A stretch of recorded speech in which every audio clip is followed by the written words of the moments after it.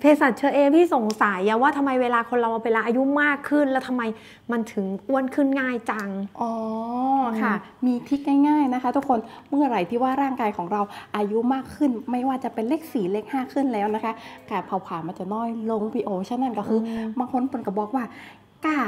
หายใจอย่างเดียวก็ยังอ้วนได้แล้วแถมบอกกินไอ้อย่างตอนตะกอนตอนสมัยแบบว่า อยู่มหาลัยเจ้าบุฟเฟ่ต์คือจัดการหมดล้านอืมกับมาทายของตามสบายแต่ว่า พออายุมากขึ้นการเผาผลาญมันบอกค่อยดีเจ้า ก็เลยย่างคือประมาณว่าอ้วนได้ง่ายฉะนั้นสามอย่างพ่อแม่พี่น้อง ต้องทำขึ้นได้นะคะ อันที่หนึ่งนะคะหลีกเลี่ยงการกินอาหารแปรรูป เพราะว่าอาหารแปรรูปนะคะ มันจะมีโซเดียมอยู่เยอะทำให้เกิดอาการบวมน้ำได้นะคะ อันที่สองนะคะออกกำลังกายให้สมกับวัยด้วยนะคะ อย่าออกกำลังกายที่ว่ามันบอกเหมาะสมกับกระดูกกระเดี่ยวเขาวิ่งขึ้นลงบันไดปวดหัวเขาแน่นอนจะอีฉะนั้นผู้สูงอายุเนี่ยค่ะควรจะออกกำลังกายอย่างเช่น เดินในสวนสาธารณะประมาณวันละประมาณหนึ่งชั่วโมงก็ได้ค่ะ แล้วก็นอนรับพักผ่อนเพื่อเพียงพอนะคะ เพราะว่าการนอนรับพักผ่อนเพื่อเพียงพอจะทำให้ระบบต่างๆ ในร่างกายของเขานะคะ มีการทำงานติดดี การเผาผลาญก็จะดีขึ้นนะคะ เอาเทคนิคนี่ของนอกเพศเชยไปใจได้เลยนะเจ้าพีโอได้แรกใครที่ว่ามีคำถามแบบว่าเอ้ยจะดูแลสุขภาพจะใดขึ้น